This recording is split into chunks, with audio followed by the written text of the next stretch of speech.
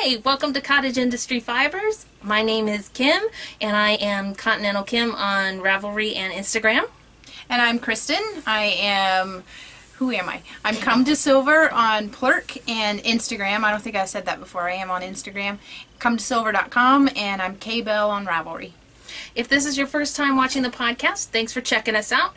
And if you're a returning viewer, thanks for coming back. You want to go ahead and kick it off with some WIPs? Yes. Awesome. Let's see. Last time I showed you that I was working on Herbert Niebling. I have gotten some progress done on that. It's slow going, of course, but it's it's a bit bigger than last time. Believe me, it, it is bigger. it looks bigger. Yeah, it's bigger. Let's see if you could see the uh, the leaf pattern there is coming along, getting into this netting pattern up there, which I think is pretty. That's cool. So that's coming along good. I'm excited. I'm actually a little worried that it's not going to be quite as big as I hoped it would. I know it'll stretch out a lot, but the one that I showed the picture of on the mannequin, mm-hmm. I think mm-hmm. she knit those on threes and I'm knitting on twos, so it's going to be a little bit smaller, but that's okay. I never really wear shawls anyway, so. Yeah. you don't knit terribly tight though, No, do I don't. So I actually, okay. I, I knit pretty much right on gauge usually. So, yeah, I'm one of those people. I'm sorry. Not me. I always have to go down. Mm. No, I have to go up a needle size because I knit tightly. Yeah, so that's that, and that's pretty much what I've been knitting on. And um, I haven't been doing a whole lot on my, um, what's it called? The Viajante. Mm-hmm. I haven't done a whole lot on it, but I remembered something that I wanted to tell you about. If you remember, I'm knitting it out of, out of Malabrigo lace, which is, it's a single of merino. It's just a single spun, not plied or anything. And something I noticed, this is still the first ball, but I, the ball was getting pretty small, but you know, when you put it in a cake and you're pulling the yarn from the outside, or from the inside, the outside of the ball tends to it can get a lot more friction over time. And it was actually felting. The just the ball from being in my project bag it's just a cotton project bag. And it was felting. I was getting you know where you, where you you're pulling the yarn out and it's like right up around the top of the cake it was starting to pull and I would have to actually yank those apart. So what I did is I I rewound it into into a ball to protect, you know, to prevent that because now I'm working around from the outside of the ball instead of the inside. Plus, I put it in a plastic baggie. I know I have this thing against, I have a thing against Ziplocs. This is the purpose for them. well, this and sandwiches, I guess. Okay. and chips. And cookies. And cookies. cookies. Kim makes amazing cookies. These are her chocolate chip oatmeal cookies. You should be jealous because they're the best cookies ever. And she brought them to me today. well, don't tell my husband I gave some away. She didn't give me any. You did not see anything. Anyway, what are you getting at? Oh, sorry. I put it in a Ziploc bag, and next, and when I get to the next ball or cake of yarn, I'm going to keep it in the Ziploc bag because it's going to reduce any friction around the outside of the ball. So, if you're working on a yarn that is a, is a single, or if you notice that it's starting to felt around the outside, do that. Put it in a Ziploc bag. That's what they're good for. And cookies. And cookies. So and, but uh, the ball is a good idea too. Yeah, because, well, I don't, I really don't want to hand wind a whole, you know, a whole yeah, thing because like, that's like 500 yards or, mm.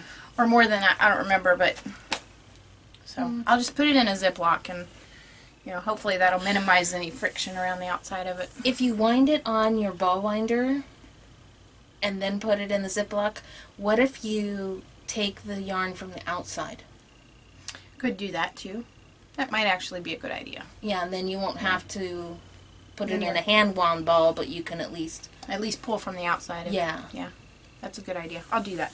Cool. It's not. It, it didn't really make a big deal. It's not like it really affected the knitting any. It was just more of a you know irritating because you're knitting and then you feel it jerk and you have to stop and you know pull it off the ball. So mm. and I don't like things that irritate me. so. So anyway, either. that was that. So I haven't really done a whole lot of knitting, just working on that that Herbert Niebling, which I'm loving a lot. It's a lot of fun. I love knitting knitting lace. I do too, and I realized the other day that I have not been knitting any lace for like weeks. Well, you've been spinning up a storm. That's why. Well, and I'm trying to get that cardigan done, which I guess I'll just jump into my WIPs. Yeah.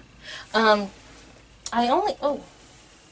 Now we laid everything out, and I didn't take out my projects, so we hopefully wouldn't have to go grabbing into bags Now, while I'm we're trying. talking. I'm trying this thing called organization in my craft room, Well, just for the podcast. just for the podcast, not like regular, No. not real life or anything.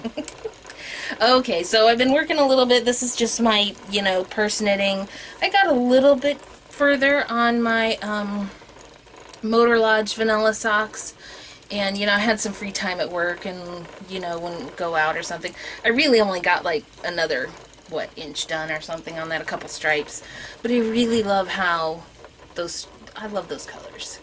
I'm super Yeah, happy fun. with how that's coming out. And hopefully I'll um, get one sock done sometime soon here and then move on to the next one and have have them to wear at some point. What base is that? This is just um it's Bad Amy Knits uh 80-20 stripy sock. So it's it just looks very shiny. It's, yeah, it's just a 80% merino and 20% nylon. Should be the same one you've got. yeah, I'm sure it is. Good. It just it looks shiny. I don't know how she does colors that look like they glow. I wonder if partially that's because it's lighter in the center of the stripe than it is to the edge of the stripe. yeah, But almost all of them look like they literally they, glow. they do. Yeah, it's that gradient stripe. I love it. She does such beautiful, beautiful dyeing. If you hear a funny like clicking sound, or I'm spinning with my uh, joy, and my uh, woolly winder kind of wobbles a little bit. It's not really might be what you're hearing. Did you figure out? Did you change bobbins? Did that help at all? I did. I, I don't think that it was the bobbin. Oh. I told her I, I, when I started this project I'm on, I noticed that when I started spinning, my tension was changing, you know, like without any explanation. Just I'm spinning along and it would feel like it's pulling hard and then it would stop pulling and couldn't get the tension right. But I, I really think that it's because I'm knitting lace and I was right up. It was a new bobbin. I was just gonna ask because I didn't realize how fine you're Yeah. spinning that. That you know possibly like you said. So so it's not doing it now. Right. Okay. Yeah. Yeah. It's um for people who are looking to spin. I know we're jumping to spinning real quick. We'll look at this closer in a little bit. There goes my organization. no, no, you're good. It's good. hey, this is the way things work. Right. we we got an idea of what we want to do and then we just go where we want Right. to go but when you're spinning really fine singles um, for whatever reason i can't tell you the science behind it or why it doesn't like to be on the, the more narrow core of your bobbin um, but it just seems to spin better if you enlarge the core of your bobbin. Now some some wheels have the option of, of having like a lace flyer and you know lace bobbins where the core is just made larger. But um what a lot of people do is they'll take a what is it like foam core it's like it's the insulation that goes around your pipes on the outside to keep them from freezing in the winter. Um, and they'll cut some of that and they'll put that around the um, core of the bobbin just to make the whole diameter a little bit larger and it'll make spinning onto that bobbin easier when you're doing really fine lace. Yeah, because when you when you're working with fine lace, the tension, the pull up feels a lot stronger than it does if you had the tension set the same and working on a thicker yarn. Like right now, I've got the tension on this almost all the way non-existent, and it still feels like it's pulling pretty well. So and you even have your tensioner that's just fishing line yeah, because i know some people will have gone to like this is super fine fishing line for the lace this is what I'm spinning. Yeah, can you even hear? You hold it up there. I'm gonna put my hand. Do you see? Oh. Oh no! It's okay. I'm just. I always do something that makes me go during the podcast. It's not a big deal if your if your single breaks. And here's a lesson on if your friend breaks your single. It's not a big deal. No. You just kind of pull some out and let the twist um, unwind. And then I'm just going to bring my fiber. I'm going to lay that single on the fiber and I just want a very fine web of fiber right there at the tip. Oh. Something like, I don't know if you can see that. I'm not putting my hand up there. Yeah. it's really, it's not a big deal. and then just start spinning it again. And you're just grabbing just a few little hairs, a little bit at a time, until you get back to your regular thickness. I couldn't. It's so then- fine though. I couldn't feel it. I didn't even know it was mm-hmm. touching my hand yet. And then it's you know no big deal. There it is again. So anyway, that's what I'm I'm working on. I forget why we started talking about spinning. Because of the noise your wheel was making. That's right. Yeah. Okay, so Which the probably can't even hear. So So the other project I've been working on knitting, um, I after the last podcast, it was almost a full week until Tour de Fleece was going to start, and I had just finished those skeins that I showed last time, and I didn't really want to spin anything. I didn't want to continue on at that project because I was at a good stopping point, and I wanted to pick it back up when Tour de Fleece started. Um, so I had a lot of time just to knit. Although one of those days I couldn't take it anymore, and I did spin a skein of yarn. I forgot to bring it with me though, but I did like fat singles, so they it spins up pretty quickly that way. But it was like it was like I was jonesing for spinning, and I had to spin something. Yeah. so I put that fiber on the wheel and and got it done real quick. But um, the rest of the time I was working on my Lock Street cardigan. So I've gotten quite a bit further along with the back. Um, you can kind of see the cable pattern coming together now. Um, I've gotten past the part where you do the waist decreases and um, working on the last row or two of um, where you increase the bust shaping. Excuse me. So, um, yeah, I've got about, I want to say five more inches to go before the sleeve. Something like that. Um, but I'm really happy with the progress that's coming along. I don't think it's going to be a problem to get it done in time for Rhinebeck. good. You were So- panicking about that. I was. But after having enough time where I was focusing on one project. That's the problem, is that I get so distracted by other projects that And that's not the only sweater you want to finish before Rhinebeck. either. no, I want to do this one and I want to do my hand my two hand spun sweaters. Yeah. So, but this one will take the longest to knit because it's cabled. Although the white one's going to be cabled too.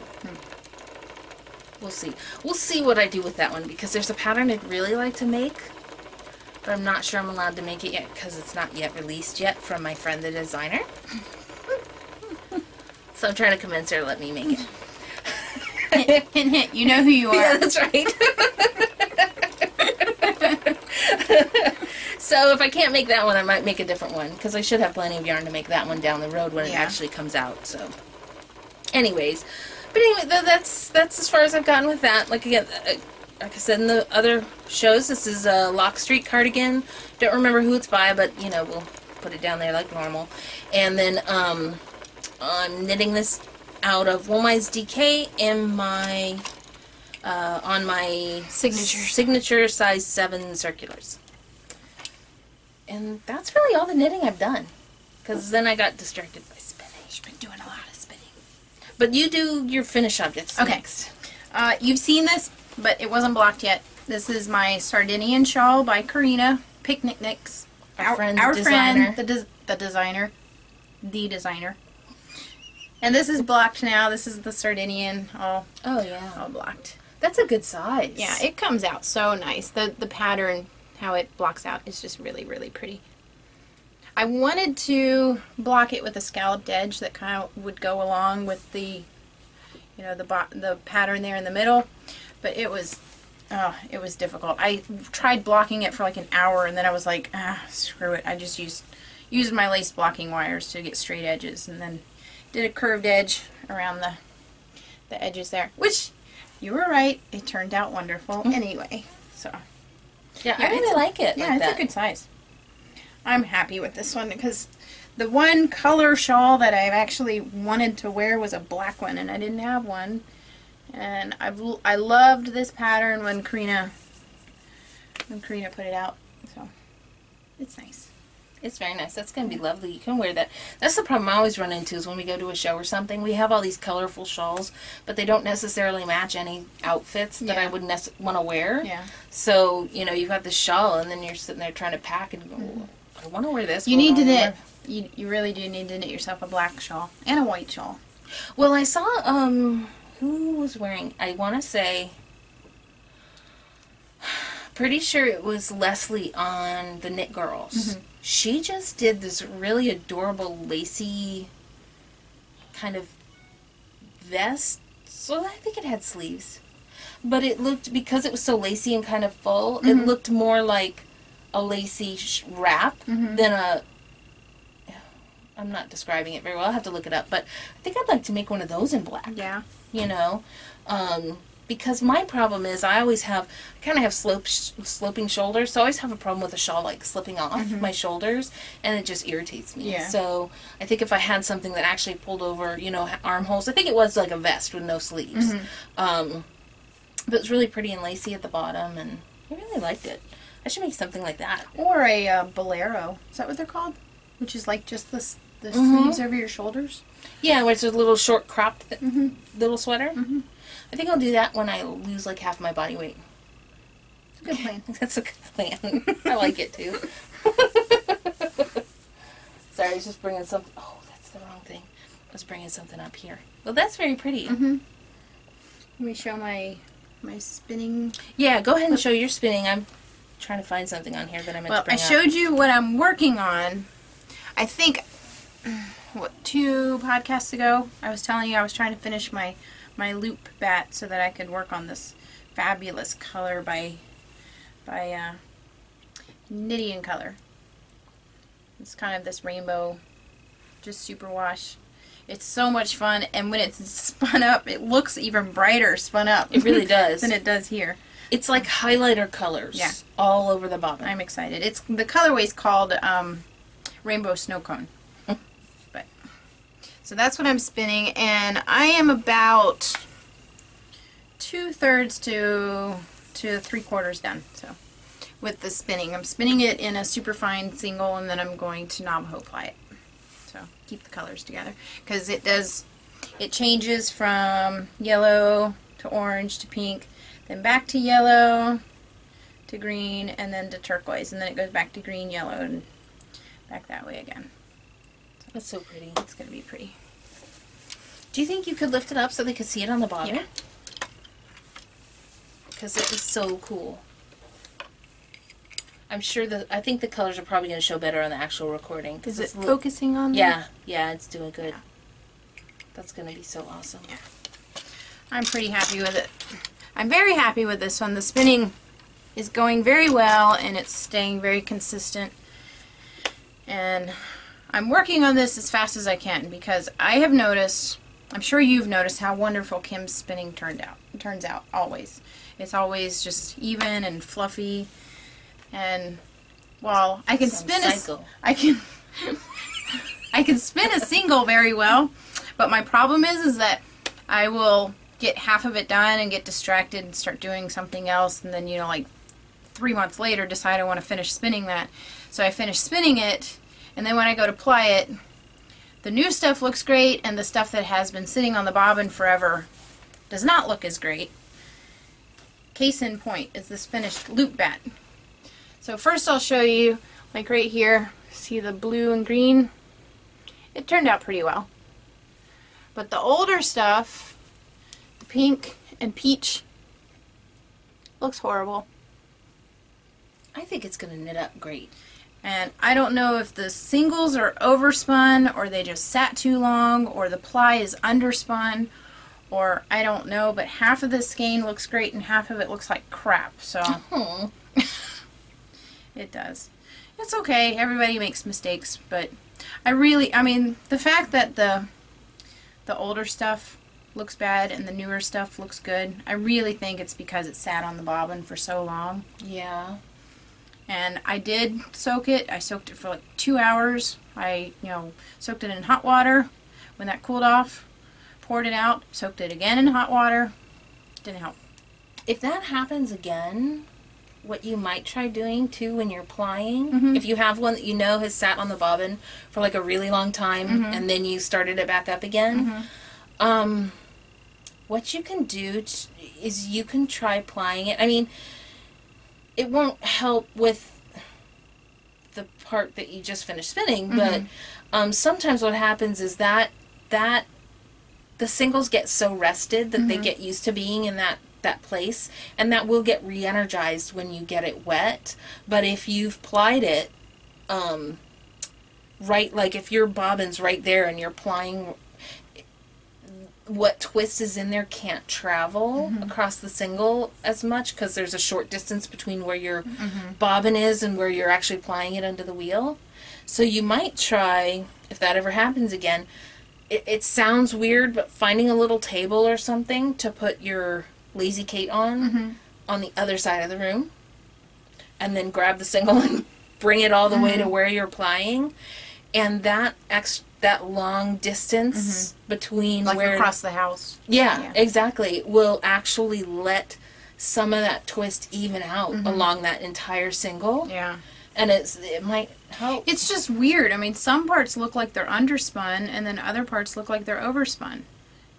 And I, I'm not an inconsistent spinner. no, you're not at all. I guess we're done with that. Okay. We put post-it notes across the bottom of the table. We've got the camera on so that we can like have easy to see show show notes. And one of them just fell off, so we're Into done. the trash can. Into the trash can. So we're, we're done, done with that. With that topic. anyway, what I was saying. I mean, you can you can see yeah. it just you know some spots look like they're underspun and some looks like it's overspun and it's just very very weird. And i mean i'm not an inconsistent spinner but like i said the start of this to the end of this did take a very long time you know because i didn't work on it con- consistently so lesson learned if you're going to spin just work on it until you're done because this is going to be great. I promise. You should see it finished next time. And Awesome. Wow. So For that fine of a single, that's that's a lot of progress done. yeah, it is taking forever though. Fine fine singles will take a very very long time. I'll tell you exactly how long I've been spinning on this. About one and a half seasons of Game of Thrones. you just spin on it while you're watching Game of Thrones. Yeah. Thrones. Sweet. My husband and I just started watching Game of Thrones a few weeks ago, so we've kind of been binge watching. We just finished. We're all caught up. Finished last night. But yeah, that's about about a season and a half. That's a lot. yeah. That's quite a few hours. So anyway, so that's what I'm working on. That's the finished one that turned out bad. I don't know. What do you think? Do you think I should put run it back through and put more spin in it? Or it, I think it does need some more twist, in- but in just. Okay, so what I would do, I would put it on your. Not Lazy Kate. I'd open this up, put it on Swift. your Swift, yeah, put it on your Swift, and do the same thing. Put some distance between you, Mhm. and t- start at the areas that you're worried about not being plied. Because even though it looks like it's over twisted, I don't think it is. I think it's more under plied. And what's happening is because there's so much twist in the singles, it's kinking up on itself, Mhm. even though it actually. So that looked like it was almost a little over twisted. Mhm. But if you put more twist into it, I think it'll. Let's see, it still wants to kink up. A That's little bit. I'm, I'm not. But it could just be set now. Yeah, so. it might just need to even out a little. Yeah. So I'd maybe try that. Yeah. Maybe put a little more twist into the black. Or maybe I'll just stick it in in a cubby up there, and it can just be It will decoration. pretty colors. well, um, I've got some spinning, Okay. a little bit. She has a little bit of spinning. So, like I said, it's Tour de Fleece, and Tour de Fleece is where we spin every day that the riders on the Tour de France are are riding, and um, there are for a period of about three weeks there are two rest days. Whatever days the riders are resting, the spinners are supposed to be resting. And then um, there's also a challenge day where they ride up into the mountains, and if you feel like doing it, you pick a particular challenge for yourself and try to get that done on that day. Um, it's a fun event. It's a low stress event. It's you know do what you want to do. you know, I've been spinning a lot, but I'm not doing Tour de Fleece.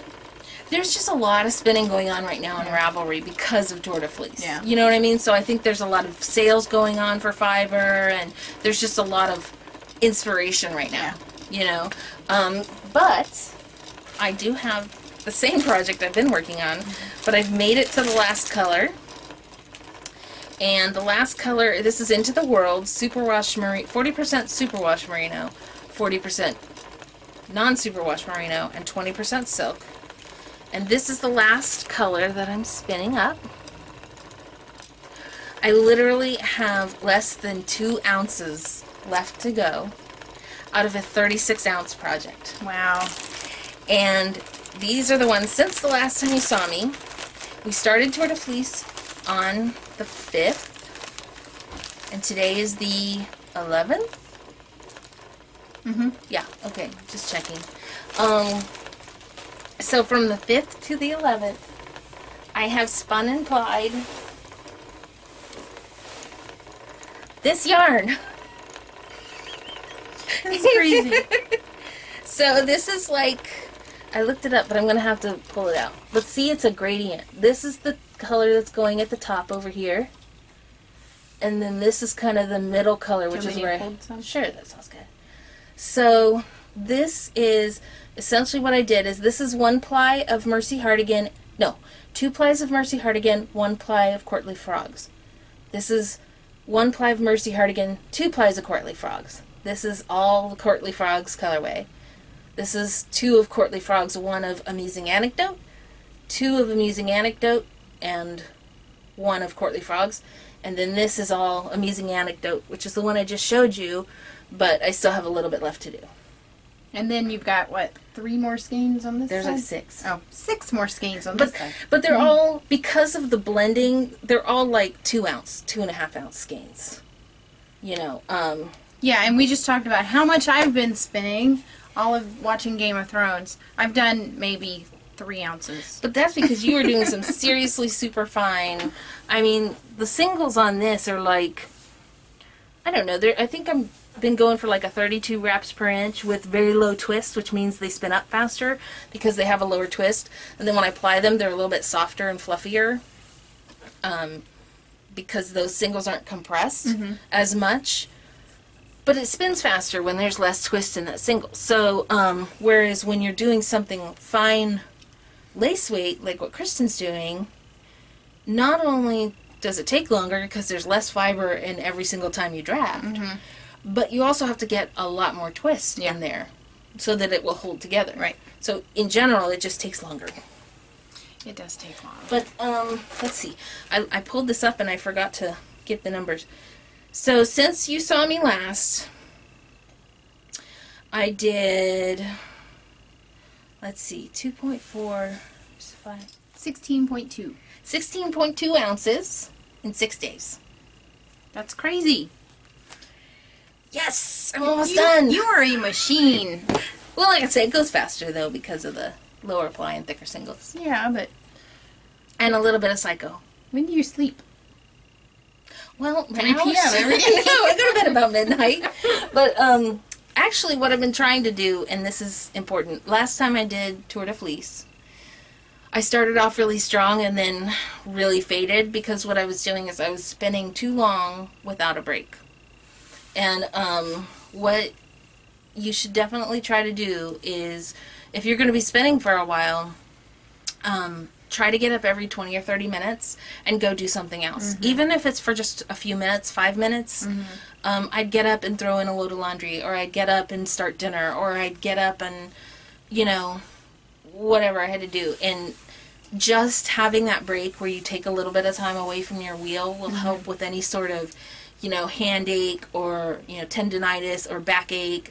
Um, the other thing that I started doing too, which helps a lot if I'm planning on doing a lot of spinning, is um, a long time ago we went to a, sp- a knit in public or spin in public, and I brought my wheel, and I brought my camping chair with me, like my just a folding, you know, fold up camping chair. And I realized that I could spin comfortably in that chair, almost like reclined back in the chair. And when I do that, it's much easier on my back and my hips. Yeah. So I can spin longer that Yeah, way. when I spin, I, I sit on the sofa.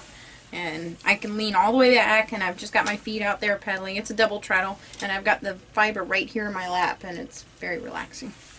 Yeah, it's. I think that's a lot easier to do for longer Mm-hmm. periods of time like that. But, but that's it. That's all I have for spinning. Okay. So what's next? You want to do your fiber galore? Yes. Oh wait, real quick. I'm sorry. Yes. I was going to talk about my plans for and see what you think about this. Mhm. My plan for all that yarn. I keep saying I'm doing a less is more, but in reality, um, I don't necessarily want to do that pattern because the way it it starts with it's just a plain stockinette, and I'm fine with that. Um, and then the edging up the side, the up the you know cardigan band, the button band is really just like an I cord bind off because she's trying to maintain the colorways as you go through the, the yarn. I totally get that. Um, but I want a one a sweater that's designed more like like your Romy sweater where it has the taller collar, and then I also want to do like a contiguous sleeve instead of um, a That- raglan sleeve. That's what Romy has also. Right, and then um, I want to do it all based from Amy Herzog's custom fit program, mm-hmm. so that it should fit like mm-hmm. perfectly when it's done. But I'm tr- what I'm trying to decide is I made extra yardage so I could make a larger sweater. Mm-hmm. Um, oh, I didn't bring the purple with me. The braids that I picked. The first, very first one, or the one I f- spun first, which is actually the bottom of the cardigan, is mostly purple, mm-hmm. like a deep purple, and that same purple shows up periodically in this colorway. This is that last colorway I'm working on right now, and um, it's going to be the top of the sweater. So what I thought about doing instead of working, the Romy is worked where you do the button band at the same time as mm-hmm. you're doing everything, right? Mm-hmm. I like to do a button band afterwards mm-hmm. because then I can better decide where I'm going to put my buttons. Mm-hmm. So what I'm thinking is doing a um, provisional cast on and starting with that collar mm-hmm. into the provisional cast on with this color. And then, like, let's say it works out that I'm supposed to do six inches of collar. Only do five inches of that color. And then knit down using the custom fit program and everything all the way till I get to the bottom of the sweater. It should end with that dark purple. And then pick up with the dark purple and do the button band. And also pick up the shawl collar and add an inch on the shawl of the purple. That would be cool. You think that'd be okay? Mhm. I'm just worried it would look a little weird with that extra purple on. Like, I probably need to see the actual colors yeah. together. I'm gonna take a picture tonight when I finish that last skein of them all together, and this Yeah. will be laying right, right next to the purple. The only reason why I think it might look a little weird is because while the the first colors that you knit, Mhm. you know, you have one solid of of the purple, right. and then it goes, you know, two Starts shifting two to more of parts a to- red. yeah, two to one, and then you know, this one doesn't actually have that color in it. Even though you've got some of the purple in there, Right. it's not going to blend With the red. as much as the other ones do. You know what I mean? right. No. Yeah. Yeah. No. I know what you mean. I'm gonna. I'll lay them together. We'll Yeah. figure it out. And either way, I could do a provisional cast on them, and I could still go back. Yeah.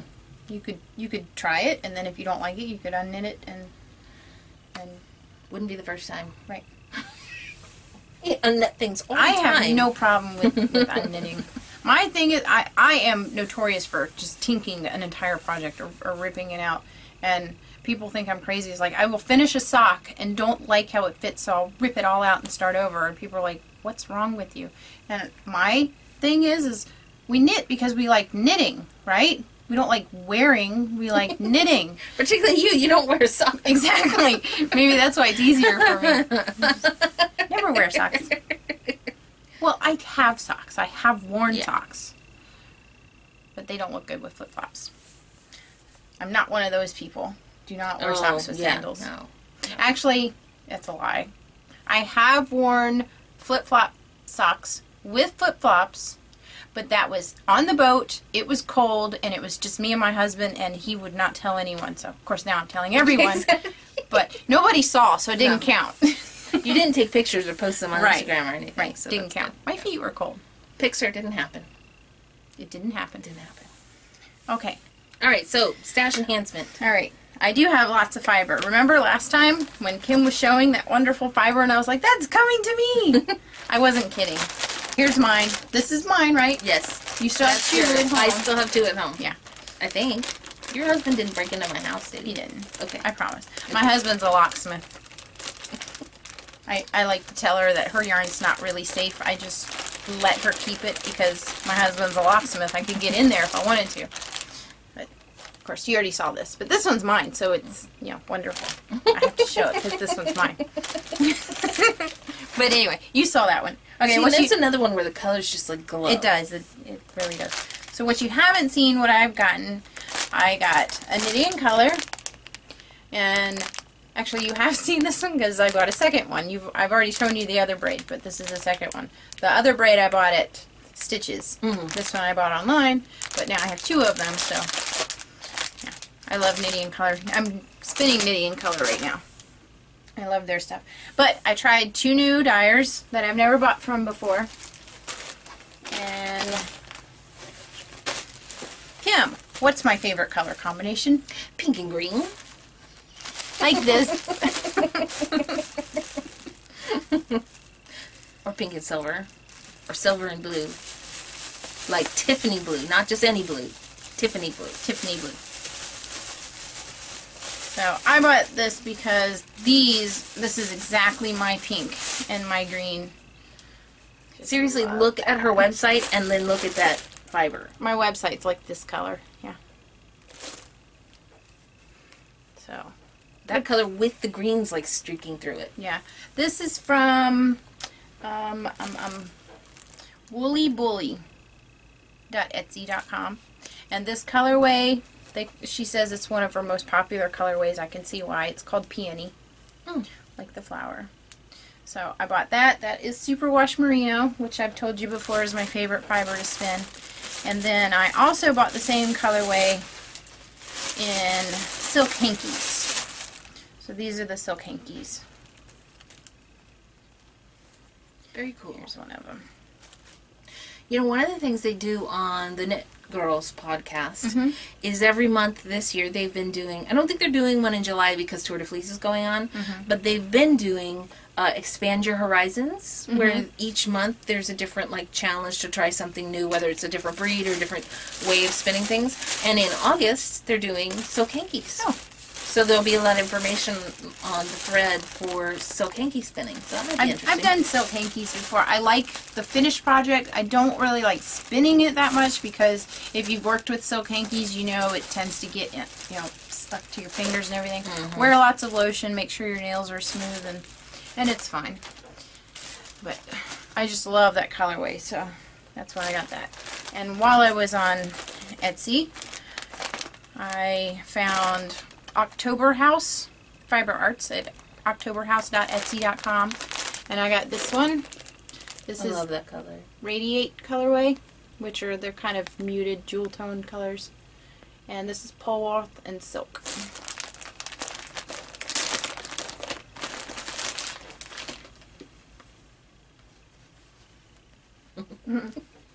but yeah, pretty colors.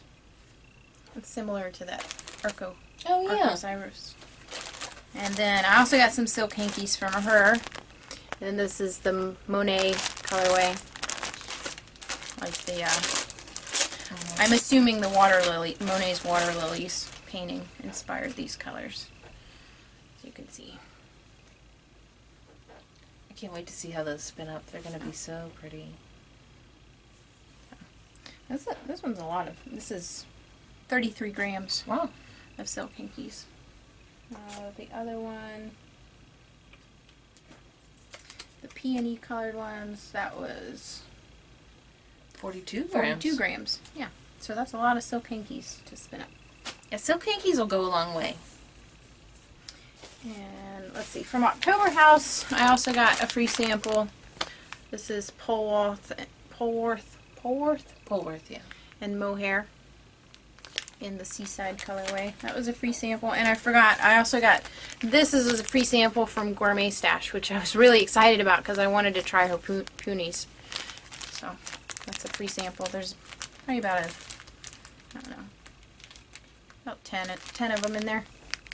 And those are Superfine Merino, Yak Silk, Bamboo, Sari Silk, and Angelina. So, there's a little bit of sparkle in there.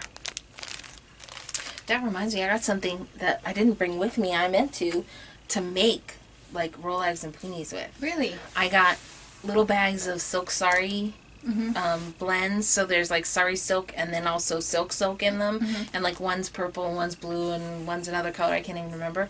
But the other thing I got, glow in the dark fiber. I'll have to make Fun. some play with that and see what happens. Now, the as as far as I understand, the difference between sari silk and actual silk is sari silk is actual th- silk thread right. that they use to make you know Indian saris with. And they're recycling. Yeah, yeah. Or they use like the cut ends from when they're make weaving the fabric. They cut the mm-hmm. ends. And I actually probably have a bunch of that stuff somewhere. Really? Yeah. That'd be fun to make. We some. should go through all of my old fiber stash. That'd be cool. Yeah. So that's all my fiber. These poonies, poonies or poonies? I think it's Poonies, Poonies? but I have no idea. These little Rolags will be perfect for one of my other new stash enhancements. I actually, um, I love my Jenkins spindles. I've shown you my Jenkins before, and they're very hard to buy now because, you know, it's just one guy, Ed Jenkins, makes them. He hand makes them, and they're wonderful. Everybody wants them, but you know, he'll make 20 of them. And if he just put them up for sale they'd be gone in two seconds. So in, in an effort to make it more fair to people he does a lottery where he will list all the finished um, spindles to go out. And then you can enter once on the one that you want. So you get one entry for one spindle and try your luck at that which is fine. It's actually pretty you know it's fair and last week he had some larks up and I tried for the larks. He actually allowed allowed people to do two entries for that one. So I had my two entries in there, but I did not win. So I complained. And then a little angel said, "You can have my lark." this little angel. So I have a lark. I bought it from her. I, I, she actually she didn't want to take money. She said I could buy her coffee for it. And I'm like, it's a fifty dollar spindle. So I gave her fifty dollars for coffee. Yes. I didn't buy it. I gave her fifty dollars for coffee. But she does stuff for me all the time. When we had just met, I mean, well, no, it was we'd maybe known each other a few months, and I was starting to spin, and I decided to spin a bat into singles, and I'm like, oh my gosh, how do I finish these singles? And she said, well, my husband made me this PVC pipe. Um, uh, oh, and why do I always lose the words? Did you lose it too? I did. What's going on? Niddy noddy. That's it. Okay, a PVC PVC pipe, niddy noddy. She says my husband made it and it works great because you can soak the singles around the niddy noddy because PVC can go in the water with it. And then out of the blue, like that same day, she showed up at my front door and she goes, "Here, I have an extra one," and she just handed me a PVC niddy noddy. I'm like, okay. She thought I was crazy. We- We'd only met. We'd only known each other for a couple weeks. yeah. But here, yep. I thought it was pretty awesome. she does a lot of stuff for me too. So anyway, but yeah, this is my new lark, and this is it is 24 grams of Bolivian rosewood. The woods he uses are so pretty. Yeah, I don't know if that's focusing, mm. but anyway, so that's the lark, and compared to the um, the delight, which is what I've shown you before, what I'm currently spinning on. So there's the delight, and there's the lark. So it's a bit bigger. It's also a mid whirl instead of a bottom whirl. So I'll put more fiber on this. This one is just about full. Probably don't want to put too much more onto that. I'll start a new, new, um, they call these turtles. Actually, I can Oh. take it off now since it's, since it is pretty, pretty full. And while we're talking about Jenkins, I'll show you one of the great things about spinning on a Turkish. So, as you can see, as I spin, I wrap it on there. And in order to wrap on a Turkish, you go under under one arm and over two. Over two arms. And under one, over two. And that makes this pretty pattern. And I was telling her, you don't have to be all meticulous when you're winding so that it's, you know, is that focusing? I think I think it is. No. Um, I can't tell. yeah, I think Anyway, it's you don't have to be super meticulous. It just looks pretty. And one of the good things about this is you can take it apart. You know, the shaft comes right out. And then it's a little tight, but the arms pull right out.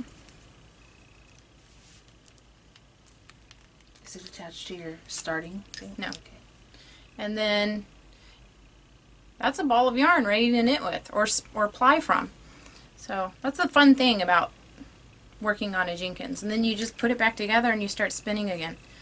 So that's why I like working on these. Anyway, they call those turtles because they kind of, you know, if you can imagine, kind of a turtley shape. I think they're pretty. Very cool. So, and then, you know, you just put it back together. And you're ready to start spinning again. So, this one, this is the Delight. Turkish Delight is actually the first size. This is the Lark. And the Lark is not only longer, it's a mid-whirl, but the arms are just a little bit bigger, so you can get more fiber on there. And then the good thing about this one is you can take the shaft off, which is this shaft, and replace it with this shaft, which is shorter, and turns it into what what they call the J. Yeah, I thought that was really cool when he did Which that that time. A lot closer in height to the Delight, but uh, again, the arms are a bit wider. You're going to get more um, spin. It's going to spin longer. So, yeah. I just think it's nice to have those options. So that's my new, my new Jenkins. Yay! thanks to Kim You're welcome. and coffee money. And coffee money. We Yeah. need lots of coffee to keep spinning. Well, now you can buy lots of coffee. Awesome. I have a couple things I added to my stash. I'll just show real quick. Um, this is from Unwind Yarn Company. And this is the last braid she had of the Dexter colorway. And she's a big Dexter fan, so I felt a little bad buying it. Well, truth be told, I was a huge Dexter fan when Dexter was on and before the finale. The finale was not great. I never watched The finale was very disappointing. Was it really? You have to tell me what happened. Well, not not right now. It was stupid. It was stupid. Oh, no. If you watched it, you know it was stupid. Wow. But anyways, one thing I was going to show. This is a really pretty um, braid where the base is actually a gray and white merino, mixed merino. So it's 100% merino, but it's got, you know, various shades from the fleece. And then um, I think they're all grays actually. I don't think there's any white in there, but it's like light gray and then dark gray.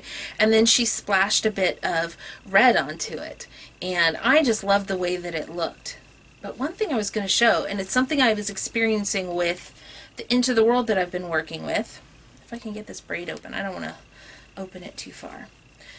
But um, when you get braid that's uh, fiber that's braided like this, there, whew, um, it has a tendency to compress a little bit, and that's not the same thing as felting. It's just a natural thing.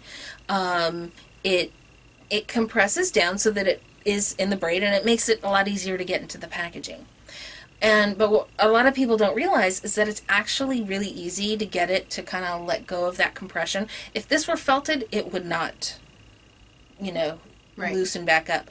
But if even if you just give it a little, and I'm not pulling hard, I'm just, I'm just, you know, straightening it out a little bit like this, and not even drafting it at all, and that makes.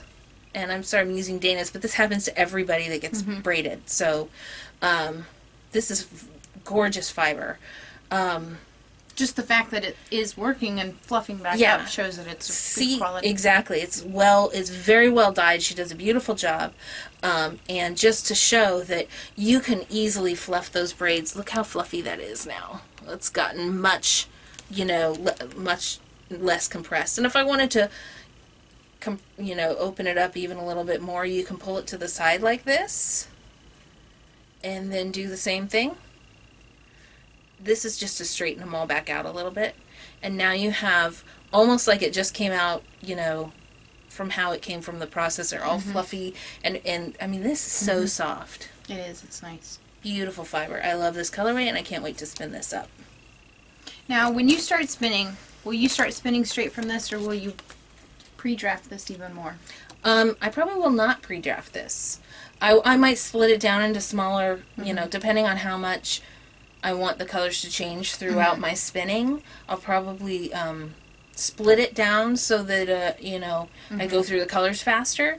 But I, I probably won't pre-draft, especially superwash fibers. I don't pre-draft at all because pre-drafting will make it a little more slippery. Mm-hmm. And since superwash already wants to draft already, if mm-hmm. you pre-draft it, you might have a hard time controlling the mm-hmm. fibers as you're spinning. But I, I I do pre-draft. I usually almost always pre-draft just because, but that goes along with my spinning style because I I'm a short draw, that's true. so I've got a good handle on the fibers anyway. If I was doing a long draw, I wouldn't.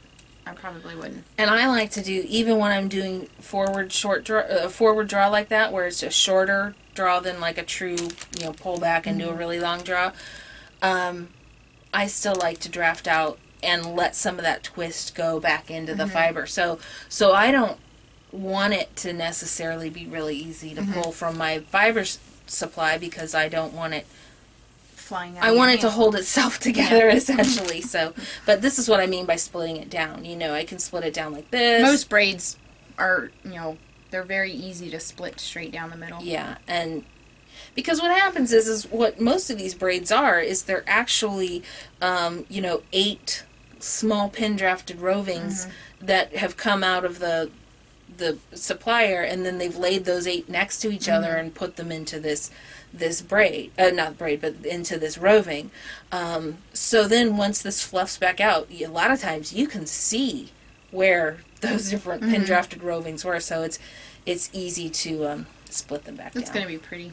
i'm really excited about Yeah. this one i was thinking about making it into ponies and just and spinning it like that but i can't decide yet Yeah. i don't know It's probably the finished yarn's probably gonna be a nice mauve, Mhm. burgundy-ish mauve. That's what I'm looking forward to. I might, I think I might just do it like this and make a two ply because there's some neat hand spun projects out there that I really like to do that I only need like a two ply for, and I think that would be really pretty because I think it's gonna, like you're saying, I think when plied it's gonna look almost more like a semi solid. So that's gonna be gorgeous. Again, that's uh, the Dexter colorway from um, Unwind Yarn Company. And then I also have this one, which is going to be hard to see the colors. But this was a special color release from Hello Yarn. And it's called Black on Holiday. And um, it looks really dark in the bag. But tho- that's not black. That's like super Purple. deep purple with orange. That's pretty. So if you, oh, it's gone. There we go. So let me put these two together so you can see. Is it on the camera? So see, it's like a really deep eggplant purple, and then like a burnt orange, and then it goes into some gold shades and tones and and these lighter areas. I think I think it's gonna spin up really. It's like pretty. a sunset. Yeah, but I think I'm gonna have to do this as an end ply or something to try to maintain the colors. Mm-hmm. I'm not sure I want it to barber pole that orange and the purple together. I think it mm-hmm. would be pretty, and I've mm-hmm. seen people who did it. But me personally, I think mm-hmm. I want it to be maintaining the color changes. I think that'll be pretty. So I got that. That was like a super fast update. Literally, it was gone in less than a minute. that's Hello Yarn. Yeah, it's Yeah. Mm-hmm. Hello Yarn, and her stuff goes really fast, anyways. But this was they did an inspiration where three different dyers had the same photographs, and then they each Oh, that's cool. made yeah they each made dyed something based on those photographs. Mm-hmm. Excuse me. So she only had done. I think 80 braids of this colorway, and that was it. And there was a limit that you could only get the max of 4 Mm-hmm. So, you know, if everybody got four, that means only 20 people were going to get to buy. Mm-hmm. Yeah. Now, not everybody got four, um, but it was mayhem. How many did you get? She got four. Do big projects. but not everybody got four. And if I don't use it, I'll She desash it. so, anyways, this is a really pretty color um, from Hello Yarn. Oh, on BFL. So that was the only thing. I was hoping it would be more of like a superwash BFL or a BFL nylon, but it's just straight BFL, which I love working with. Mm-hmm. It's beautiful stuff. Um, but it just limits which projects I would use it for. Yeah. So I think BFL is a really good fiber for beginners spin. up. very very good for beginners because it's got a little bit longer staple length mm-hmm. than like a merino mm-hmm. but it drafts nicely it's it's not and it's not a coarse wool and this is the last thing it's it's a spoiler so if you don't want to see the Into the Whirled june colorway I didn't want to see it. it's Ju- it's july now today's You july didn't warn me. i'm No. sorry I, I, I'm just kidding. I don't care. If you don't want to see, look away. That just reminded me, though. It's halfway through July almost, which means we should get a new color soon. I know. I love her stuff. I really, really do. And um, this month, I'm going to tell you before I show you, just in case you want to run away now. Um, this, the luxury blend this month, because she has a Luxe Club and a, a Classic Club. And the Luxe Club has more where um, a lot of times we get silk blended in, or sometimes cashmere, sometimes it'll be, you know, other fibers. This time it's 50% alpaca, 30% merino, and 20% silk. Nice. Well, I don't really like alpaca usually. I do. well, I did. I when I saw that's what the blend was going to be, I'm like, oh, it's alpaca. I just don't. I don't care to knit with it very much. Mm-hmm. But holy cow, That's nice. this braid! Oh my gosh! Mm-hmm. Look away if you don't want to see. I know it's too late. Yeah. But look at. I mean, her colors are fabulous, anyways. And then oh, it's like this. It's the orange and the blue from the the Mm-hmm. Motor Lodge, my socks. But then she added in this like coral Mm-hmm. reddish color. I love. It's called Sentinel. I don't remember. I think I don't remember what the inspiration photo was, but I really can't wait to spin mm-hmm. this. Even though it's alpaca, I think it's gonna spin up nicely. I think adding that merino and the silk to it mm-hmm. has made it a, a really nice blend. The thing I don't like about alpaca, it's really it doesn't have any stretch to it. well, you know, there's two different kinds of alpaca. There's Suri alpaca and then mm-hmm. Huacaya alpaca. right, right, And you know, the Suri is more like a mohair type. You know, right. I really don't like working yeah. with that. And then, and then if it's you know baby alpaca, it's wonderful stuff. I've got a soft spot, soft spot for alpaca because years ago when I first started spinning, I um I met someone online and she was she had a bunch of bunch of alpaca fiber and she was like, "Yeah, I'll send you some." And she's like, "Just pay me for shipping." So I'm like, "Okay, I'm expecting you know like a a mailer of alpaca fiber." No, it was this huge box, probably 20 or 30 pounds oh Gosh, of crazy. alpaca and there were all different kinds of colors there were baby alpacas and suri alpacas and one of them was a it was a huacaya that's how you say it Okay. Yeah. I don't know. it was it was a huacaya breed but the fiber length was like this it was ridiculous it was you would think it was suri because suri suri fiber is really long How long did they go before shearing that out? Usually, you know, but it was crazy long. And I tried, I had a drum carder and I tried carding it, and it just wrapped around the drum carder. That was a total fail. But yeah, Yeah, I, no. I have a soft spot for. I've got some. I've got a half finished project up there of alpaca that I spun straight from the fleece. It was a dirty fleece, and I Oh. spun it straight from it, and it was fantastic. I loved it. I think my problem is that it doesn't. It's not very elastic. And the one time I spun it, it was like it wasn't bad to spin. I mean, it drafted beautifully and it was fine to work with. But then I had to knit up a sample, mm-hmm. and I just didn't like the way that it hmm. knit. But that's that's just me. That's you know, people different people like different mm-hmm. fibers. But I think with this merino and silk mixed in, it's mm-hmm. going to have just enough Yeah. spring to it that it's going to be lovely to work with. And then, you know, this her her club fibers are not braided. They're just they come in the bag, just kind of put in there. And part of the reason for that is so they don't get compressed in a braid. Um, but then if you order from a regular or like a regular update, mm-hmm. they're braided. Mm-hmm. And they take up half the space of this bag mm-hmm. because they're compressed. It's just this the one way it is. You can see. Yeah. You can almost see the the separate rovings in it. rovings. Yeah. So see how easy that's, and I am going to split split this down mm-hmm. and spin it fine mm-hmm. because that's what it's telling me it wants. It's going to be wonderful. Yeah, I just I I know a lot of people don't like alpaca, but I don't know. I'm just lucky I don't have an allergy to it. I know some mm-hmm. people have like an allergy and it's pretty nasty, and you got to make sure to stay Remember away. when we went to that alpaca show and the lady was like, "People aren't allergic to alpaca." Yes, they are. some people are. yeah, But yep, that's all I have for stash enhancements. that's all I have. Okay. Well, we just have a couple more things. I wanted to talk really quickly about um, this new book that I got. It just showed up today, actually, so I haven't had a chance to look at it very much. It is New Vintage Lace um, by Andrea Jurgrau. I know I'm butchering that. Um, there are a lot of lace patterns, lace books out there but the reason I wanted to talk about this one specifically, and the reason I purchased this one, even though I've got a ton of lace projects, uh, there's a lot of really good information beyond just the stitch, pa- uh, this the, the designs in this book. Um, great photographs, but she has a whole first chapters about materials, and it's not just yarn. You know, it's not just yarn recommendations. It's beads and um, steel crochet hooks that you can use for beading. And then she has a whole nother section, another beautiful photo, on techniques.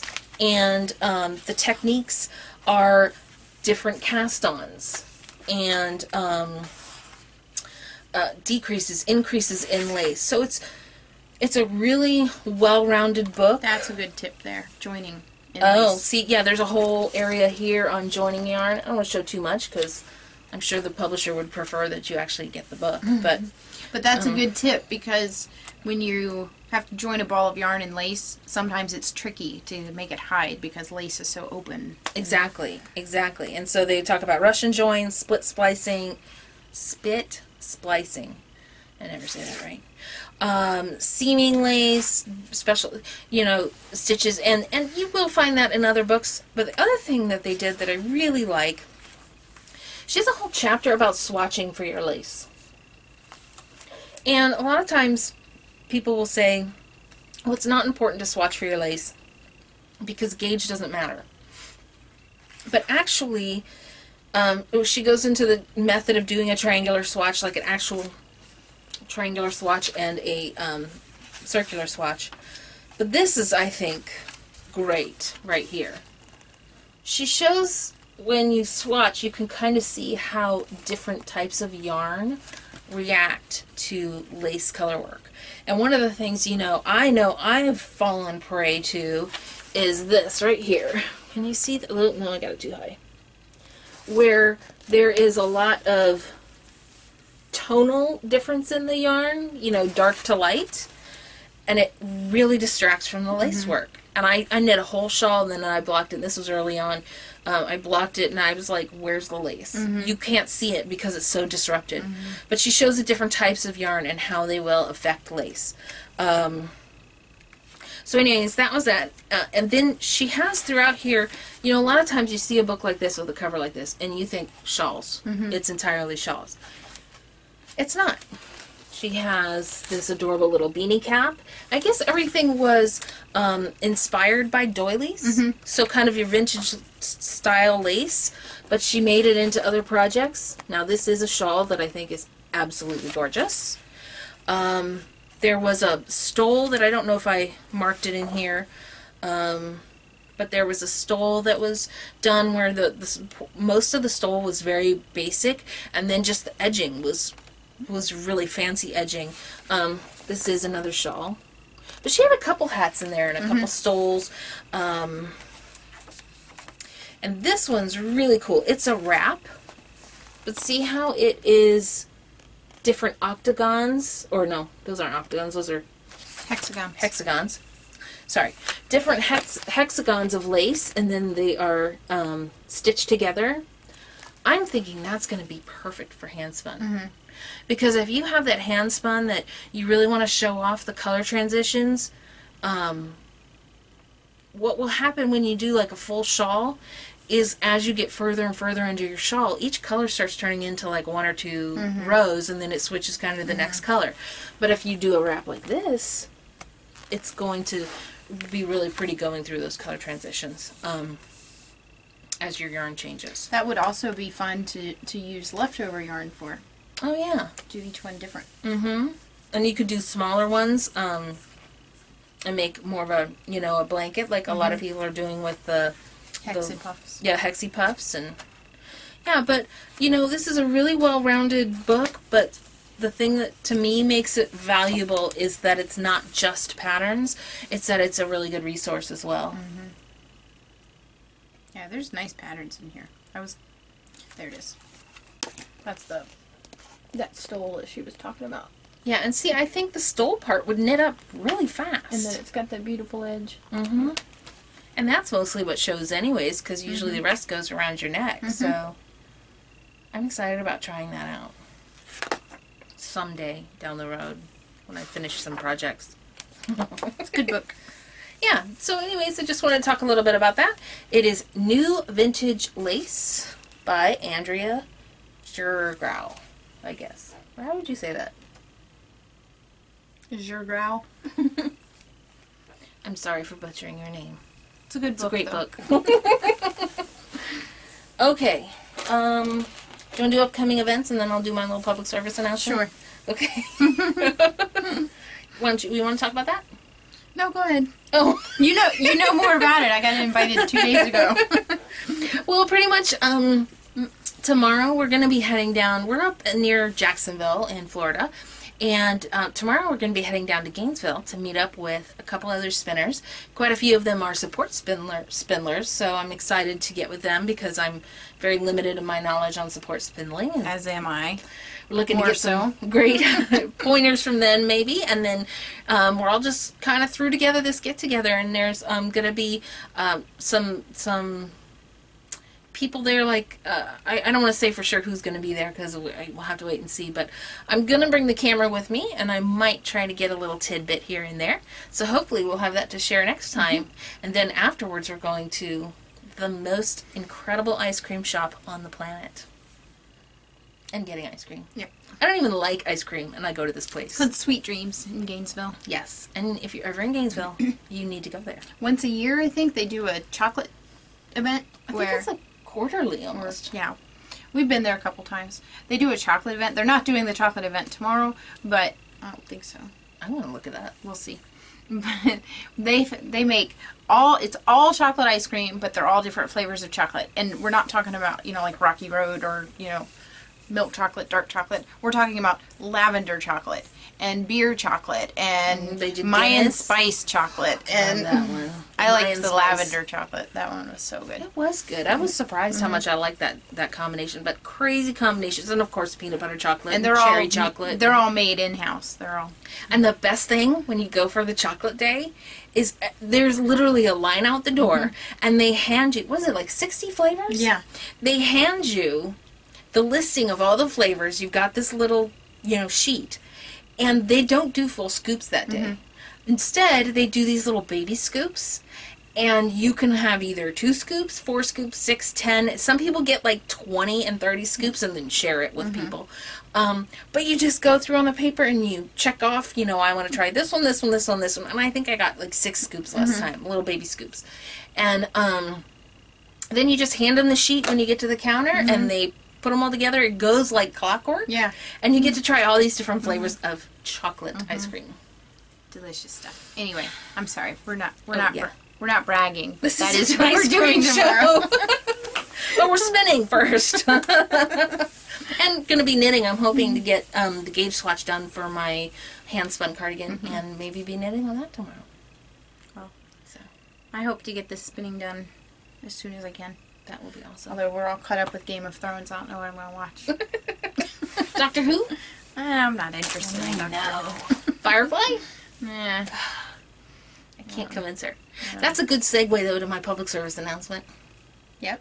It is. I have a public service announcement about TeeFury. I really I've been hiding it mostly with my hair. I'm a big Firefly fan, and I saw this shirt. This is you probably can't see it very well. Let me see. I want to show you. Well, anyways, there's my shirt, and it says Kaylee's shiny spacecraft repair because Kaylee is the engineer on Serenity, which is the spaceship from Firefly. And I got this and a couple other nerdy girl shirts. Um, you know, time to net, let your nerd flag fly, kind of thing. And I was really excited about these. I got this shirt. I got a Doctor Who and Little Mermaid shirt in one shirt, and then I got Coffee Powers Activate one. Mm-hmm. I was really happy. So my shirts show up, and I pick them up out of the bag, and I show my husband. I'm like, "This is a 3X," and he looked at it, and he cocked his head to the side, and he went, "Does it say 3X on this shirt?" Because I got a 3X. I paid two dollars extra to get a 3X because you know I wanted a roomy shirt.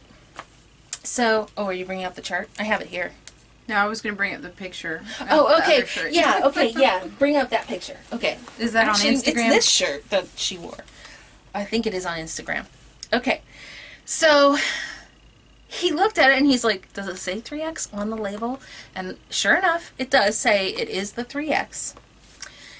Well, what she's looking at is, I'm like, this is insane. I put the shirt on, and I don't know if you can tell or not, but it is incredibly tight on me. And so I had my daughter, who wears a size medium normally, if she wants it to be close fitting, or a large if she wants it to be normal fitting. Um, I had her put on this shirt, and Kristen brought up the picture. She have to show you. So this is my 18 year old teenage daughter wearing this shirt, and as you can see, it fits pretty well. That's a normal size shirt. That is a normal size shirt. So I decided to look up TeeFuries. And sorry for going off on this tangent, but people need to know. I looked up TeeFury's size chart, and you're going to love this. I'm zooming in on the women's and the youth, because you need to see this. Alright. So, let's see if it'll. If you look closely, the yellow is the women's sizes, and the pink is the youth sizes. So you look at the the and this these by the way these measurements are measured as the shirt is laying flat. So it's only, you know, half the total measurement. But as you can see, for example, the size small is 15.75 inches across in the women's size. And if you look right next to that in the youth sizes, it's 15 inches across, which by their estimation, is a size, I believe, 6 to 7? Yes, a size 6 to 7 in youth sizes. So, according to their sizing chart, a woman who wears a small would also fit in a six year old's t shirt. the women who are a size extra large, okay, extra large is 18.75 inches across. Right next to that is the youth size 10 to 12, which is 18 inches across. So, ladies of America, according to TeeFury, if you wear an extra large, you are the size of a 10 to 12 year old. Not so much. So, just be aware of that. Not for us normal sized women, No anyway. kidding. so, look at the size charts. I'll order regular adult t shirts next time. Even I then. can tell you where I got my tea, but I forgot where I got this tea. It's Dory. oh, Dory. Sorry, I'm calling her Dora. Sorry. I don't really forget, but I forgot where I got this tea. That's right. That's awesome. Very cool. I got it at Disney World. No, you forgot. I forgot. Well, I think that's all we really have. Yeah. We'll have more to talk about Mhm. next time. Mhm. Hopefully, about our lovely little trip down to Gainesville. Who's driving? You are. Okay, I'm driving. She We're likes to drive. a mini adventure. She likes to drive more than I do. I do. And we both have convertibles, so it doesn't matter. We can go in either one. Right. Cool. All right. Well, we'll see y'all next time. Thanks for watching, and uh, check out the group on Ravelry, Cottage Industry Fibers podcast, and uh, love to hear what you're working on. Which reminds me, um, real quick. There's a way that you can share your projects and your stash and everything with the group. Go in there and do that. I love to see what you guys are working on, what you're stashing. You know, we can always uh, use some extra evil enablers in our life, so I look forward to see what you guys are up to. See you next time. Bye. Bye.